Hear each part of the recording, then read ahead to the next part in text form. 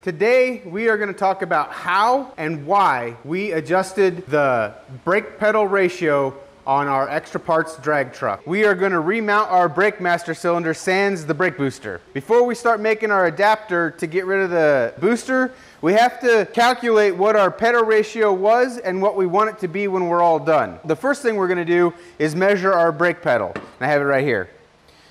So the way you measure your pedal ratio is you go from the center of your pad to the pivot point. This one is 14 inches. And then you measure from the master cylinder rod to the center of the pivot point, and this is 3 inches. So this pedal has a 4.6 pedal ratio. We want something closer to 5 or 6. So what we're going to do is we're going to move our master cylinder pivot point up three quarters of an inch. The way we're gonna move our pivot point is this has a half inch bore. So we're gonna take a half inch bolt and make a short bolt that we can bolt through the pedal that has enough thread sticking out that we can put this on and put a nylock nut so it doesn't fall off on the outside of it.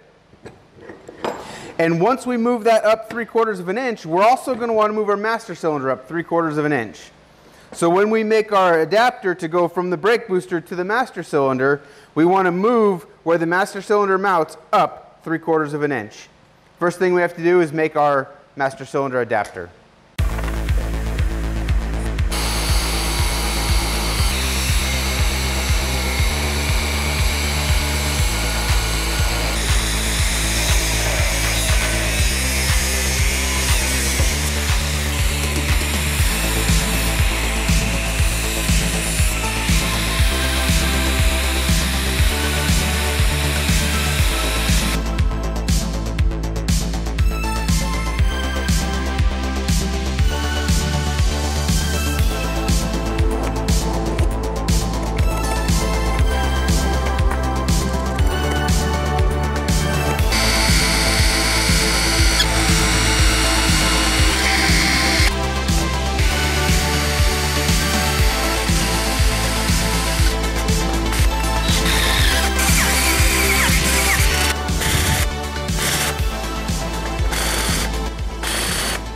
Okay, so now we have our adapter plate made, and I just made this out of quarter inch steel. We are gonna drill our holes for our master cylinder.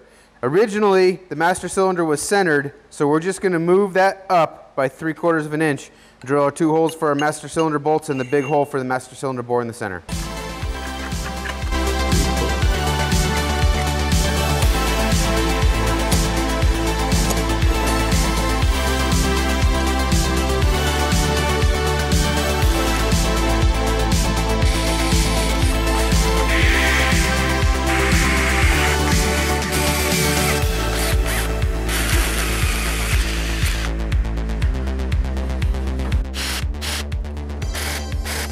Okay, we have our adapter plate all bolted in here and the master cylinder is actually going to have to bolt through the bracket that is the pedal assembly. So rather than cut this out and take strength out of that pedal assembly, I'm just going to drill that hole out and put the bolt from the inside there. And then this one will go through the firewall as well. I have to trim out the top here so the master cylinder will fit. And then we can leave, we're going to leave the master cylinder out of the way for right now because we need to go ahead and get our firewall painted.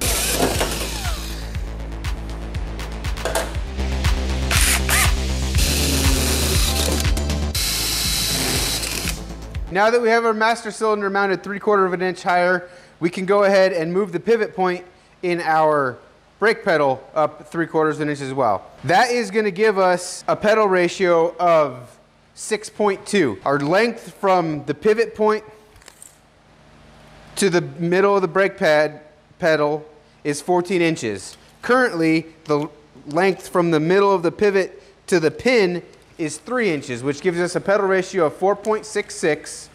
After we move it up 3 quarters of an inch, that's going to give us 2 and a quarter between the pivot point and our pin, and that is going to give us a pedal ratio of 6.2, which is much more friendly for manual brakes. According to Summit Racing, you want a pedal ratio between 5 and 7.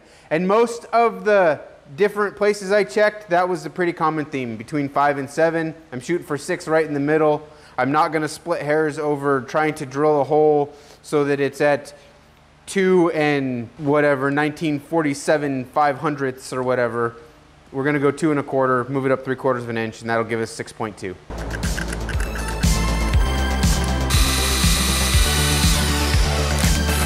Okay, I was afraid that was gonna happen. Uh, we're not gonna have enough room to get our bolt in there, so we're gonna have to go ahead and remove the original pivot.